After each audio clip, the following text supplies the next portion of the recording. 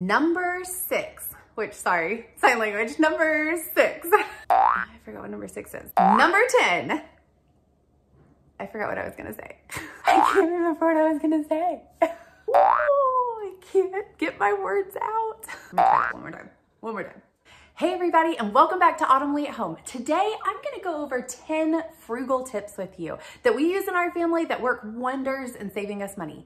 What does frugal mean? Frugal does not necessarily mean that you have to cut yourself completely off. It just means that you need to think about it before you buy it. So let's go ahead and get started. Number one, please don't hate me for saying this because this is not gonna be the most popular thing to say organizational products. It is such a popular thing right now to buy the latest and greatest organizational products. But really what you need to do is step back and truly think about what you actually need. That is one area that we save a lot of money on is I don't just go and buy the first thing that I see in the store that's an organizational product that I think is gonna make my life a lot easier and more organized. Do some of them make them more organized? Absolutely. But that's where you need to just pause and think about what you truly need and maybe wait a few weeks before going back and buying that item. And if you can't do that, just make sure you hold on to the receipt. I would be very careful with organizational products. It's so easy to get the latest and greatest pantry organizational bins and containers and closet containers because they're so pretty, especially on the box and on YouTubers, videos, all of the above. It's so easy to fall into the trap of wanting to buy the next latest and greatest organizational product because we think that it's gonna make our lives a lot easier. Does it sometimes? Absolutely. But that's where you're frugal about it and just be very careful not to just buy it because it's what looks awesome in a splurge of a moment. Make sure that it's something that you're actually considering that you've been considering for a while. Number two, this is also not gonna be the most people's favorites, but I will say it has saved my family in particular hundreds of dollars a month. And that is cutting back on snacky foods. Instead of buying the name, name brand snack foods like Debbie cakes or chips or crackers or anything like that, instead of buying those, make them yourself we could save a lot of money. You can save, I save a lot of money when I don't buy name brand snacky foods. So instead of buying the pre-made peanut butter crackers, buy Ritz crackers or the Aldi brand Ritz cracker and go ahead and make your own peanut butter crackers.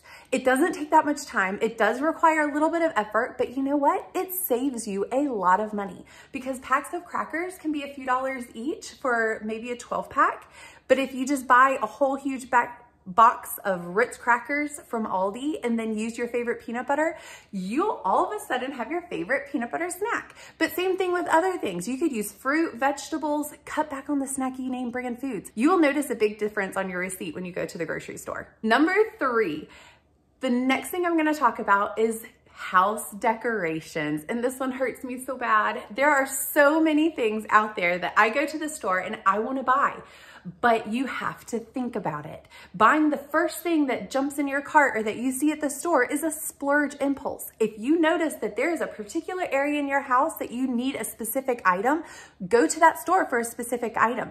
Don't window shop because if you go to Marshall's, and yes, I said Marshall's because that is one of my favorites because you can find some good deals for some really cute decorations be really careful. You're falling into that trap of not being frugal and saving your money or being diligent about being careful how you spend your money. So be very mindful of how you buy home decorations.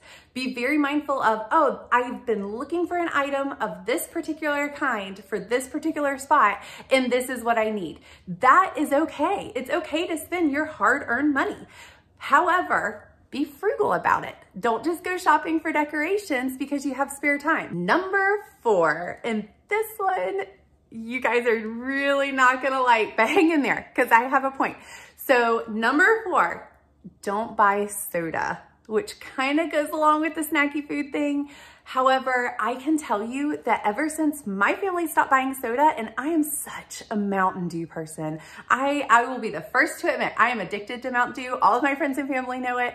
I love Mountain Dew. Any chance I can get, I will buy some Mountain Dew. However, I will say and be the first to admit too that it saved us a lot of money when we stopped buying soda for the house. I still splurge and when I'm out working or when I'm out on a date or out at a restaurant with a friend that I don't do very often, that is a time where I indulge and I enjoy myself a soda. I know it is not very cost effective to do it at a restaurant these days because I think it's up to like what, $3, which is again crazy to me. But if you don't buy soda from the store, it saves you a lot of money because when we were buying soda, I was drinking at least one to two cans of Mountain Dew a day, which I know it's terrible and it is not healthy, which is a bonus for not buying it. Being frugal, saving yourself that money of not buying the soda here at home, but still getting to give yourself that allowance of being able to do it while you go out is wonderful because you have to be careful and again, not purposely try to create situations where you can get your soda fix. However, I would say that that is a way to save money because packs of soda have skyrocketed lately. So I would recommend not only are you saving money, but you're also being a lot healthier. I lost like 10 pounds when I started doing this. So I would strongly recommend that one. Number five. Number five is when you go to a store, try to buy the off brand. I know when you're grocery shopping, it's so easy to go for that name brand because we are all sticker snobs at some point or other with certain meals or certain items. Like we love our Jiffy peanut butter. We're Jiffy fans. Same thing with mayonnaise. We are Duke fans all the way for Duke mayonnaise. However, with items that you really don't care, like ketchup, we're not a huge we don't care to go for Heinz. It's not a huge deal to us to maybe switch to the off brand of ketchup that maybe is at Aldi. So Start looking at your grocery list. I wouldn't try going to off-brand everything all at one time. Be frugal about it. Start one thing at a time and over time you will see that there are off-brands that you may even like more. Did I say that? Yes, I did you may actually like the off brands a lot more. I have found that I am that way. I have a couple of people that have commented on my last Sam's haul that said that they like the Members Mark trash bags a lot more than the actual trash bags. I had one person that commented that. So I'm excited to try them. One thing at a time, just try something new when it comes to off-brand stuff. When you go to Aldi, don't shop the normal name brands that you're used to seeing. You're not gonna save money at Aldi doing that. If you go to Aldi, try to buy try to buy the name brand items that will help you save money. You'll notice that your receipt at Aldi is a lot less, which is crazy. It makes a big, big difference. So same thing with Food Lion, Aldi, Sam's. Sam's has the members mark. Walmart even has their own brand. So try to buy, like if you're going to buy noodles, you may think, oh, it's only a 25 cent difference and I'm losing the quality of it. Not necessarily. Have you ever tried the off-brand? Sometimes they end up being a lot better. You never know. The only reason that the other one is more is because a lot of times it has more marketing. That's what the cost is being put into. So look into it. It doesn't hurt. And you will notice that the bill after you buy like 10 items that may be like 50, 50 cents to a dollar cheaper per item, you're saving a lot of money every time you go to the grocery store all these little things add up. So if you're wanting frugal tips, think little things and over time they add up to a lot. Number six, don't shop, maintain. What do I mean by that? I mean that in your house, if you have a free day, say all the kids are at school, or you have a day on the weekend, like on a Saturday where you don't have any plans going on, instead of going out shopping, take that time to maintain things, fix things, maintain your home. So what do I mean by that even? I mean taking toys from your kids, fixing them, sewing up princess dresses, which I have been known to do for all my brothers and sisters as well as my kids.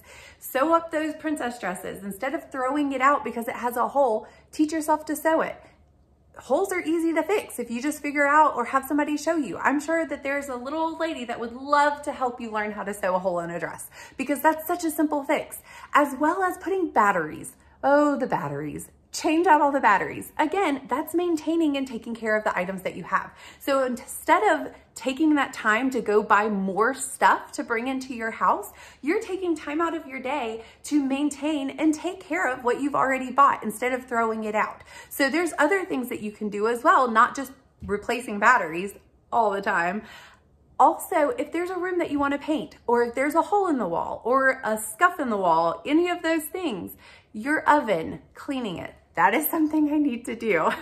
but those type of things, instead of going out on that day, take that day to be like, instead of spending more money, let's be frugal and take care of what I already have in this house. Because then not only are you not adding more clutter to your house, but you're saving money because then you don't go out and buy 10 more items. You're taking care of what you already have. Number seven. Number seven is simple. This is not something that my husband and I do anymore. However, when we were really tight on money, we did it every single month. We wrote down a budget, which I know, I hear, I see all the eyes rolling now. Budgets are annoying. However, if you budget yourself a certain amount of money to spend in each category, use cash. That is my number seven, use cash.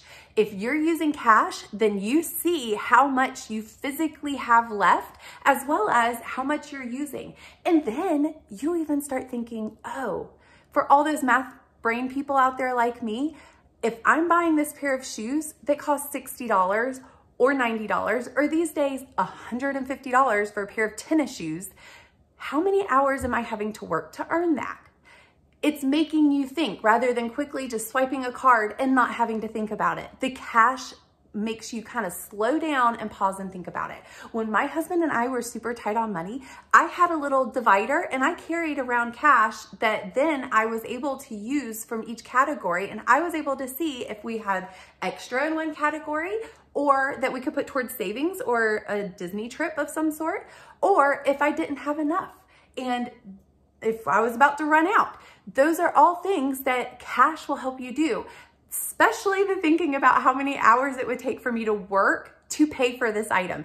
It makes me question, is it really worth it? And half the time I would say no. Do my kids need shoes? Absolutely. Do I need shoes and clothes to wear? Yes, you need to take care of yourself. You do need clothes to wear. However, be frugal about it. Be mindful about it. Don't just buy the first thing off the rack because it was the first thing that was fast enough to grow, jump into your hand. So think about it. Number eight, we are on number eight, and this is a very simple one that you would think that a lot of people would already do, but I am so guilty of not doing it myself.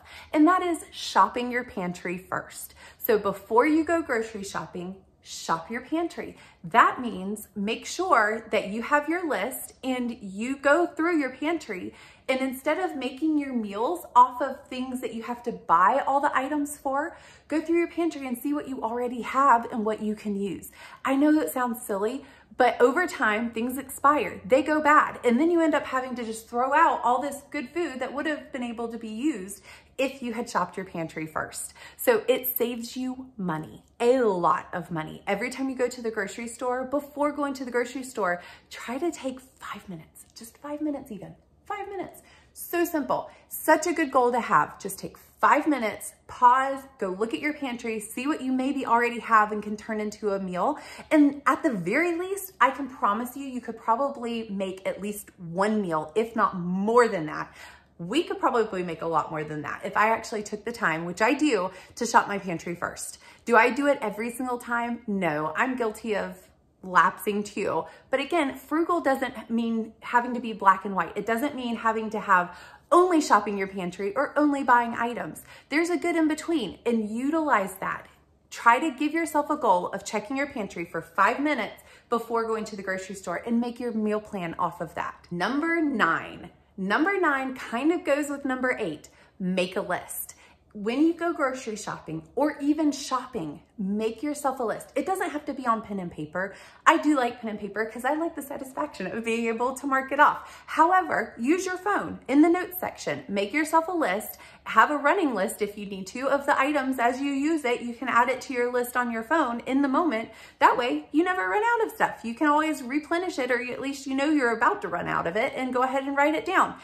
By going into a store with a list, you can try to make yourself stick to the list and that will also save you money. I know it sounds crazy, but it does. It saves you money, a lot of money, because then you're not splurging on all these other things that you're like, oh, why don't we go ahead and get this, this, this, and this? Go ahead and put snacky items on the list. If you do have the budget for those snacky items, we don't always have that budget. I like to try to start making our snacky foods so that it's healthier items. You can actually see some right there on my counter that I made recently was chili, what was it? Chili, green chili, cheddar crackers, sourdough crackers. That's what I made him. And my son absolutely loves those. He eats those. So by me taking the time to make that, I was able to not only save money because that took pennies and it was stuff that I already had in my pantry because I shopped my pantry first. But I was able to give my son a healthy snack and not have to buy snacky foods. But if you have the budget for it, put it on your list, the items, the snack foods, Pop-Tarts, whatever it is that you want, go into the store with that list and tell yourself, I'm not gonna buy anything that is not on this list because if it's not here, then obviously I don't need it because I had sat down to think about the things that I needed. So go in with the list, try to stick to your list. Number 10, look at your account. I know that sounds crazy, but sit down and look at your bank account and with a calculator, you don't have to be fancy about it. Just use your phone, use a piece of paper, just grab a random calculator, go through and add up, including cents. Don't leave off the cents. Or if you do, at least round up. But count up and add up every restaurant, sit down restaurant, fast food restaurant, or coffee stop. I know that gets a lot of you out there. I am not a coffee drinker, but I could replace my coffee with the Mountain Dew subject and I would be right there with you guys. So coffee stops as well. QT stops, snack stops, whatever it is, add all of that up. You are going to be astounded. I know it takes a few minutes. Put on your favorite show, put on the Friends episode, put on your favorite movie, and just sit down and try to do it while you're watching your favorite show. I promise you it will blow your mind how much you are actually spending on these items. It is crazy. My husband and I did this before we even had four kids. We now have four kids. And this for one month, for two of us, we spent over, I think it was seven, eight hundred dollars in one month for just two of us. And this was way before COVID. So this was close to like nine or 10 years ago. I know we're getting old. However, if you sit down and do it right now with the prices of how everything is skyrocketing, if you're struggling with inflation, give me a thumbs up down below because everybody is. And that's what these frugal tips are for, is to try to help you guys and support you guys to do the best you can with what you have. And it just, most of these are all just kind of stopping and thinking about it. They seem simple enough, but it's so hard to control that impulse. Now with this one, sit down with your favorite person, your best friend, your roommate, your husband, whoever it is, sit down with them and add up all your expenses of how much you ate at a sit down restaurant, a fast food restaurant, a coffee stop. Yes, coffee stops as well. All of it, add it all up. You will be, it will, it will blow your mind how much money you are spending on fast food. So instead of spending money on fast food, again, that number will make you pause and think about do I really need fast food right now? So that is something that my husband and I recently did. We stopped and think, what fast food restaurant are we routinely stopping at that we don't need to anymore, especially as a family? So one of those, and it was my fault. I wanted it. It was a mental break for myself. After church, every Sunday, we stopped at Taco Bell. And I wanted to stop at Taco Bell because it was easy. It was on the way home from church. I didn't want to have to think about it because everybody's already tired and it's nap time for my kids or the youngest one. It's nap time. So I don't want to have to think about trying to get food ready really fast. You know what happened? We cut that out because that was 50 to $60 every week that we were spending. So that's over $200 that I was spending a month on that one restaurant stop a week. That is crazy. For our family of six, we were spending 50 to $60. And that was with most of the kids getting like taco, soft tacos and cheese roll-ups.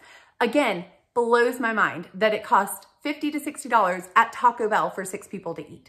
So by cutting that out, we're saving over $200 a month, which again, crazy, crazy. Saves you money all there, right there.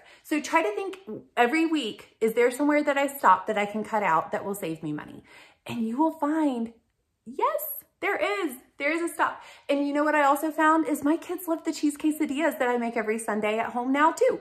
They have no problems with it. I keep tortilla chips and make cheese quesadillas. And so I'm still not really thinking about it. And we're getting home a lot sooner because we're not having to wait in line at Taco Bell. Thank you so much for joining me at Autumn Leigh at Home. I hope these tips were helpful for you guys.